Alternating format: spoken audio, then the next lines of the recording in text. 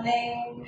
Please all are for follow and practice the yoga belly, smoke and for belly. breathing together in this morning now. It's good a routine for body and especially the part of the belly.